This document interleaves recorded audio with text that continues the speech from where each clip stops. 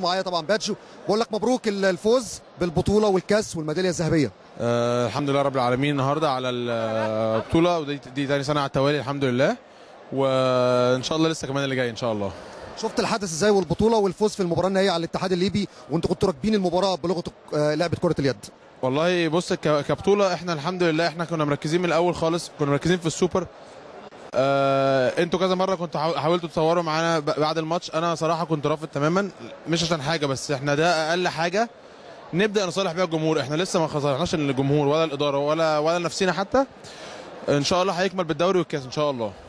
مباراة السوبر بالنسبة لكم أنا شايفها عامل لكم تحدي بشكل كبير إنكم عايزين تخلصوا الموسم بشكل يعوض اللي حدث وفي نفس الوقت الفوز بكأس الكؤوس برضه هيكون تعويض إنك تكون موجود في السوبر السنة القادمة. طبعا طبعا. و يعني إحنا بقى لنا أهو الحمد لله ده كده ثالث سوبر على التوالي إحنا فيه.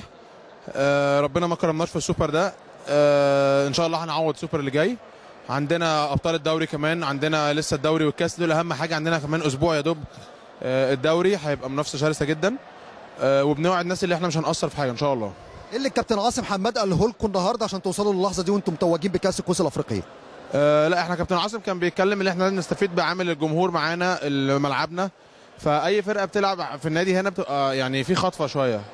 وده اللي إحنا اعتمدنا عليه من اول المباراه. إحنا يعني على طول فرقنا على طول وهو ده يعني هي دي ميزة الجمهور ان إحنا بنلعب في ملعبنا الحمد لله. شكرا جزيلا والف مبروك. أيضا